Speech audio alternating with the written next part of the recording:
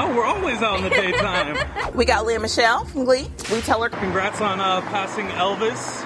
Oh my god, did that happen? Yeah, they Oh, said you guys just passed Elvis. Oh, So they- oh no. I don't even want to bring this up. Glee now has more top 100 songs than Elvis. There's more people on the planet now.